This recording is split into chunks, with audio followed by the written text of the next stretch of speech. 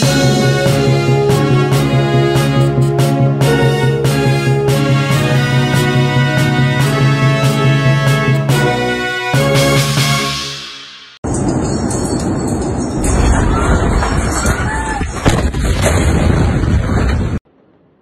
េតុការណ៍ផ្ទុះដ៏កក្រើកមួយនៅជាប់តំបន់ឆ្នេរនៃរដ្ឋធានីរបស់ប្រទេសលីបង់បានផ្តាច់ជីវិតមនុស្ស78នាក់និងជិត4000នាក់រងរបួស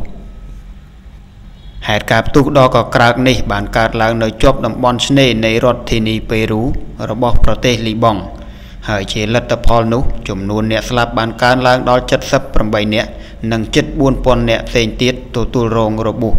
នេះបើតាមរដ្ឋមន្ត្រីក្រសួងសុខាភិបាលលីបង់លោក Hamed Hassan ចេញផ្សាយដោយសារព័ត៌មាន Reuters ចុះនៅថ្ងៃទី5ខែសីហាឆ្នាំ2020នេះ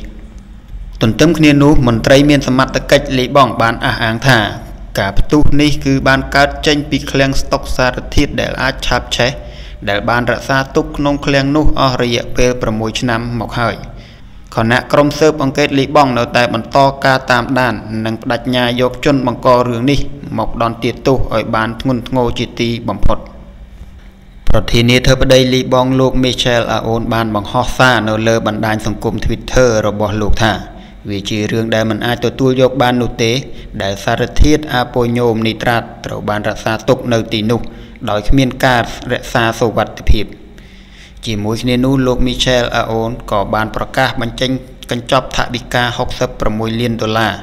ដើម្បីដោះស្រាយបញ្ហាក្នុងគ្រាមានអាសន្ននោះផងដែរជាពិសេសគឺដើម្បីព្យាបាលអ្នកដែលទទួលរងរបួសជាច្រើនពាន់នាក់។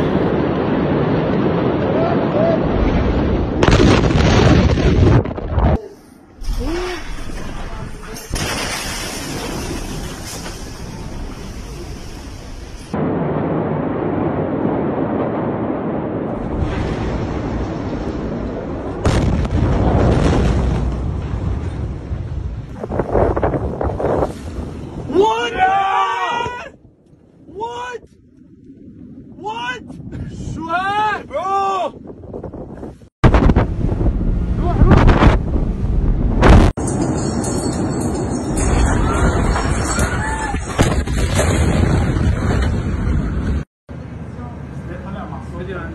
كبير في مدخل بيروت لا عطرة يا عطرة البنية يا عطرة انفجار